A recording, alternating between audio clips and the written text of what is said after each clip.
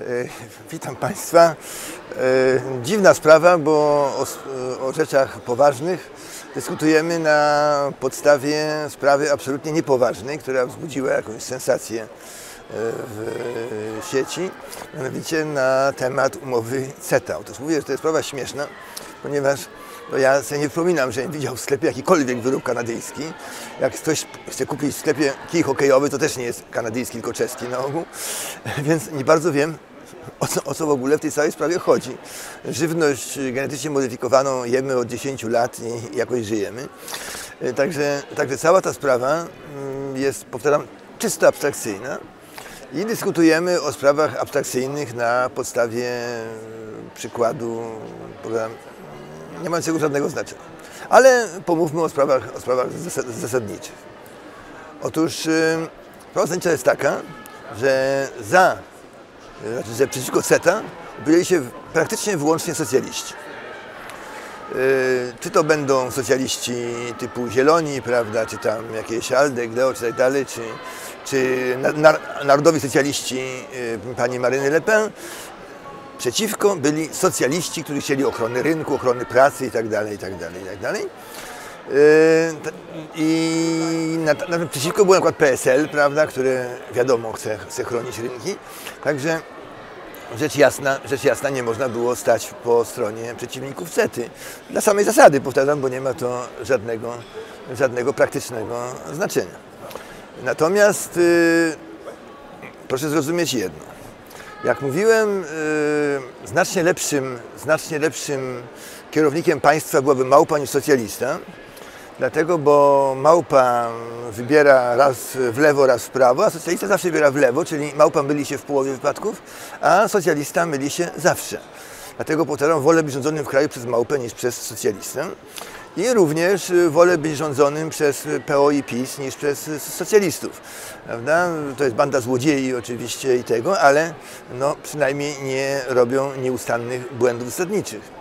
Bo jeżeli ktoś ukradnie, no to pieniądz się przeniesie od Kowalskiego do Wiśniewskiego, prawda? ale bogactwo kraju od tego nie ulega wielki, wielkiej zmianie. Natomiast jak ktoś źle rządzi, a socjaliści zawsze rządzą źle, no to, yy, no to jest tragedia. I teraz zastanówmy się właściwie, dlaczego yy, w kraju PO, PiS i również ich odnogi tutaj w Parlamencie Europejskim głosowały jednak za CETA.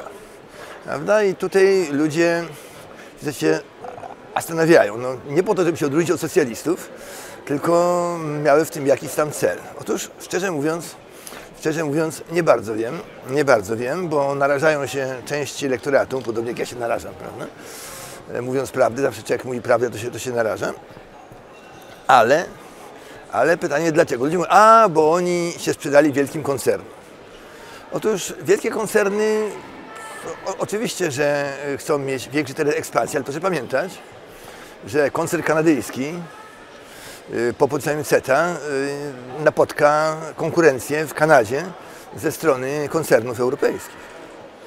Także mm, to, to nie jest tak, że jest to w jakimś interesie wielkich koncernów, podobnie jak i w małych, prawda? Podobnie jak i w małych. Także, także zupełnie o tym się zapomina, że konkurencją dla wielkiego biznesu jest inny wielki biznes również.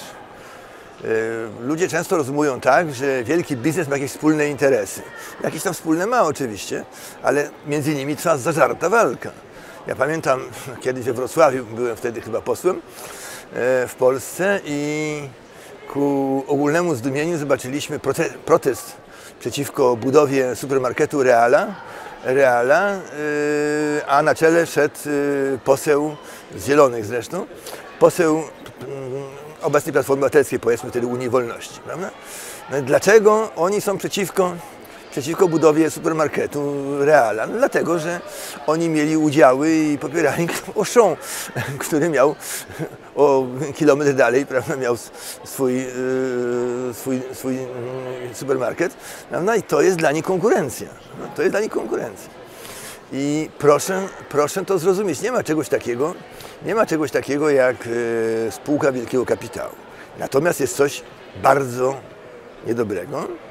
Mianowicie jest to spółka wielkiego kapitału z rządem.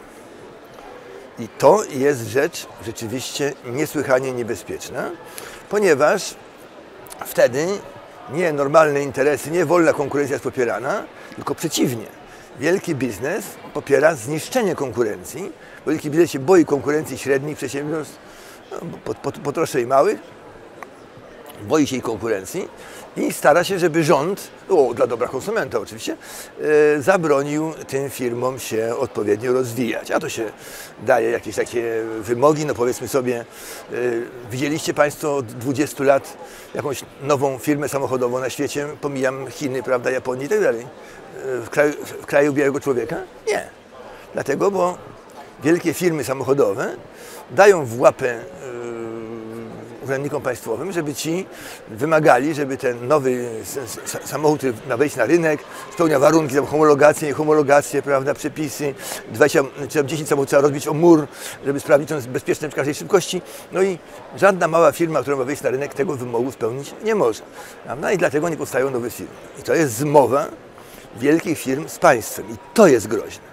I to jest groźne, że państwo zamiast stać po stronie konsumenta, stać po stronie sprawiedliwości, państwo staje po stronie firm. Wszystko jedno jakich małych, średnich czy dużych, staje po stronie producentów.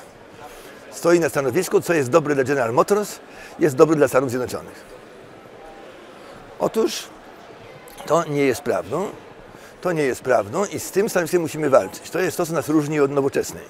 Nowoczesna właśnie wyznaje tę zasadę, że co jest dobre dla General Motors jest dobre dla Polski, a znaczy dla jakichś tam polskich zakładów tutaj, a my tego nie uznajemy. My stoimy na stanowisku priorytetu polskiego konsumenta i to, że polski konsument będzie miał trochę taniej syrop klonowy, nie wiem co to jest, bo nigdy tego nie jadłem, ale to jest jedyny produkt kanadyjski, o którym słyszałem poza Chevroletem, to proszę Państwa, to proszę Państwa na pewno e, polskiemu konsumentowi nie zaszkodzi. Dziękuję za uwagę. Się.